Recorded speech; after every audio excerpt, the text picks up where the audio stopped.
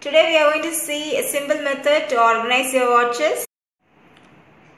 Do subscribe to my channel and keep watching me.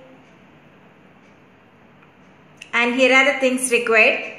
Uh, first thing you require a tray. Uh, this is something which I taken from a coffee mug package. It's a thermocol one. However, if you have a cardboard one also you can use it. Then you require a sponge and you require a pair of scissors. Start by cutting your sponge. Since I had 6 divisions, 6 shadows, I made 6 partitions. May tie up your watch the sponge and place it into the slots. In a similar way, organize your other watches into the slots.